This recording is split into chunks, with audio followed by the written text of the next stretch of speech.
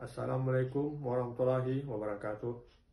Sehubungan dengan maraknya informasi mengenai virus COVID-19, saya Sohardi selaku Ketua Umum Majelis Kerapatan Adat Majelis Sakai Riau menghimbau kepada masyarakat agar tetap tenang, jangan resah, dan tidak menyebarkan berita-berita yang belum tentu kebenarannya.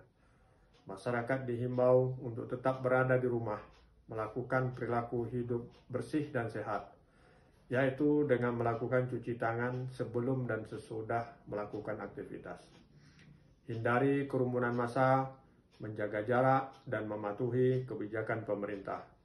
Terus menjaga kesehatan dengan memperbanyak makan buah dan sayur. Jaga kesehatan yaitu rajin berolahraga dan aktivitas fisik. Apabila Anda sakit, segera periksa ke fasilitas kesehatan. Wabillahi taufik walidayah. Assalamualaikum warahmatullahi wabarakatuh.